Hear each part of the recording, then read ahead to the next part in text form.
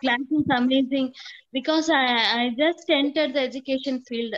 Uh, from the technical field to the education, it, it was a, a vast difference for me. Um, basically, we used uh, Microsoft Office, but uh, Google now all these options. I never expected all this, and you patiently explained us. And Sailaja ma'am, I re you're really like an inspiration for me. We have a lot of work in our school.